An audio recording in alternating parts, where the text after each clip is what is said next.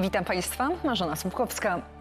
Zawsze mnie cieszy, kiedy mogę powiedzieć Państwu to, co dzisiaj. Jakość powietrza jest na poziomie dobrym i bardzo dobrym w całym kraju. W nocy przelotne opady i burze w regionach wschodnich po Górny Śląsk. Niektóre wciąż z ulewnym deszczem do 30 litrów wody na metr kwadratowy i silnym wiatrem do 70 km na godzinę. Popada i zagrzmi też na Pomorzu, po Uwarmie, a zjawiska te będą na ogół zanikać dopiero w drugiej części nocy, choć na wybrzeżu i krańcach wschodnich popada do rana.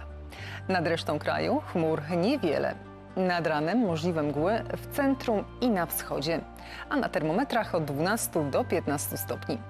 Przed południem duże zachmurzenie od wybrzeża po Podlasie, Mazowsze oraz od Podhala po Bieszczady. Poza tym przeważnie słonecznie, około godziny 10 na termometrach od 18 do 22 stopni. W drugiej części dnia przelotne opady i lokalne burze pojawiać się będą od Pomorza Gdańskiego po Podlasie, Mazowsze i część Lubelszczyzny i w tych regionach okresami będzie się chmurzyć.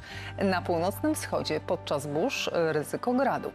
Popada lokalnie także w centrum i na krańcach południowych. Poza tym sporo słońca, a na termometrach od 21 do 27 stopni. Wzrośnie prędkość wiatru na wschodnim wybrzeżu. W czwartek słonecznie, tylko na Mazurach i Podlasiu od czasu do czasu może słabo popadać. Niewykluczona burza na Suwalszczyźnie. Najcieplej od Dolnego Śląska po ziemię lubuską i Wielkopolskę do 27 stopni. W piątek po ustąpieniu porannych mgieł dzień będzie słoneczny.